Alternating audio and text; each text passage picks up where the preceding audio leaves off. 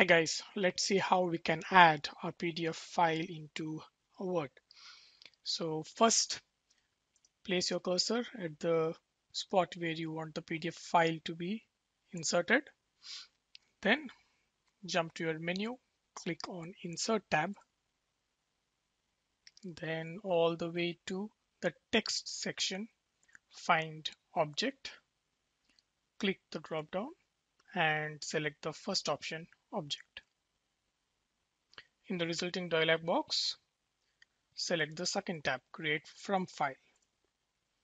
Now browse the file that you want to be inserted into Word. Search for the file. Mine is in downloads and I want to add this PDF file called original. Double click it. So you have your link ready. Click on the checkbox that says display as icon. This is just to create an file icon representing PDF. Word automatically detects that.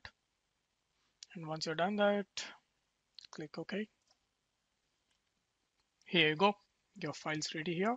Now let's check if it opens successfully.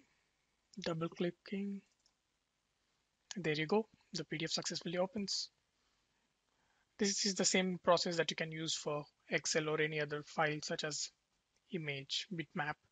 So yeah, hope this helps and do subscribe if you want to learn more MS Word tutorials, hints, hacks. Thank you. Have a good day. Bye-bye.